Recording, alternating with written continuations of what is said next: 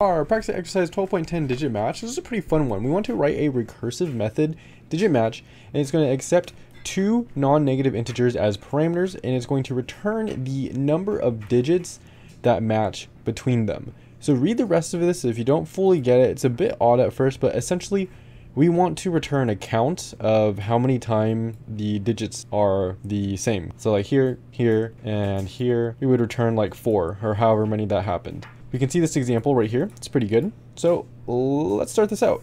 It's going to be a public int, and we are returning, uh, well, we're returning an int. It's called digit match, and we're accepting two parameters, int n1 and int n2. So inside of here, there's a few things that we have to do.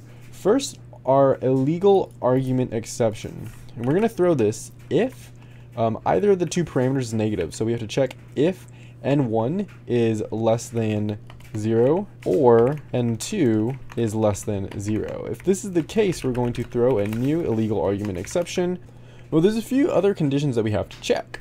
First is our base case, and that's going to happen when we have something like this that's really small. Notice how we line them up from the back to the front. So what we want to do is end if we have only one digit here, right? And the easiest way to do that is with modulus. Because with modulus, remember, we are returning the remainder. And if we take the modulus uh, with respect to 10 of it, that'll help us out quite a lot. So that's going to be our second case with the modulus. The first is just saying uh, we have the, so we have an if statement, then we're going to have else if, and then we're going to have else if our n1 is less than 10, or if our n2 is less than 10. If either of these is the case, we are going to want to do a return inside of here. Now there's this new like return method I've been, or else if method I've been trying out. We're gonna do it here. So inside of this one, it is pretty interesting. We know that we are going to want to return um, a, a value, right? A value of one. We want to increment our return if it's the same digit. Like this one would not increment right here. But if this last one was 5 and this one was, we would want to. So inside of this else if, we're going to have a return where we check this. We're going to say if our n1 modulus 10 is equal to our n2 modulus 10, then we are going to, remember this is equal, then we are going to want to return 1. So we have to question, is this equal? We're returning 1, otherwise we are simply going to return a 0. So that's going to be this else if right here.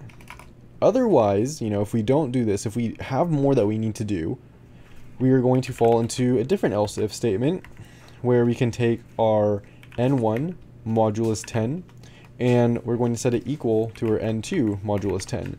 So what if they are equal? If they are equal, we're just going to want to return 1 plus, and then we're going to have our recursion because we need to continuously go through this, right? So digit match but since we've already looked at this integer, this last value, this last index, we are, need to, we are going to need to pass in our n1 and n2 again, but divided by 10. So we don't look at the same thing. So we pass that in. Um, if they are not equal to each other, so we're going to fall into this, we can just say else. Um, we're going to want to return just this right here. We're not adding one to it because, you know, it, it fails the equivalence right here. And so that is going to pass our test just fine. But there's a more efficient way, or not efficient way, but a more uh, compact way of doing this.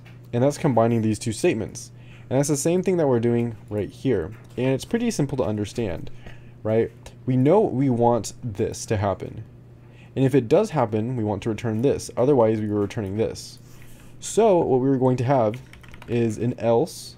And then if it falls into this else, we want to return. We have this check right here that we want. So we want to check if the last digits are equal to each other. And if they are, we are going to want to return 1 plus the uh, recursion. Otherwise, we are going to just want to return this recursion. So again, either of these ways work. This is a little bit easier to understand. It's a little bit more compact and kind of fun to work with. Let's press submit and that'll pass 14 out of 14 tests. So that is how I would do this exercise 12.10 digit match.